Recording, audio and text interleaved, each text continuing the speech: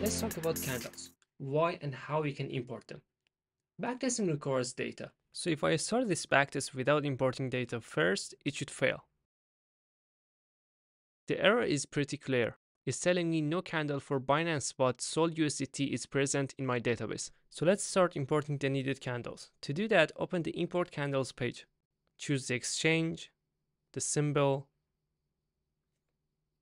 and the starting date.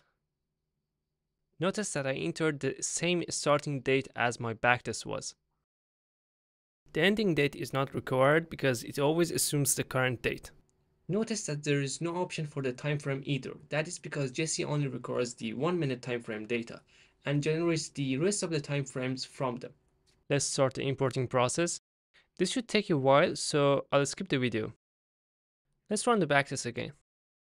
This time it fails again. That's because the starting date of the backtest is exactly the date that we use for importing candles, which means we forgot to consider the warm-up candles. Warm-up candles are the data that is loaded before starting the backtest sessions. Let's say in your strategy, you're using a moving average with a period of 50. Warm-up candles allow you to have access to that value since the beginning of the backtest, instead of just waiting 50 candles just so you can estimate the value of the moving average. By default, the warm-up period value is set to 210. You can change it from within the settings page if you needed to.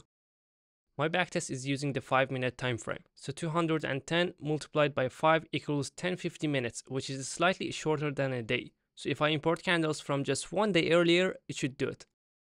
This time it should go way faster because we only need candles for one day, so Jesse will skip the days that it already has. Now if I run the backtest again, it should work just fine. And the reason no trades were executed here is because the strategy I'm using is empty.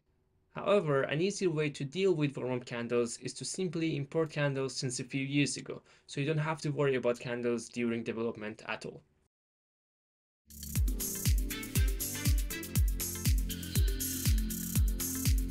In case your database is empty and you want to import candles as fast as possible, you can do that by opening multiple tabs. For instance, while this session is importing candles, I can open a new tab and import other candles.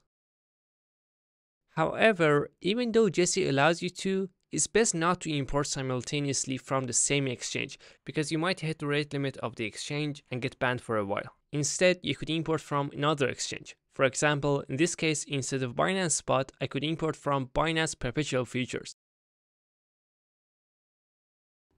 I have to mention that importing candles is not required for live trading. In live trading, at the beginning of the live session, Jesse will automatically import the required candles for you. In the next video, we're gonna talk about how strategies work in Jesse.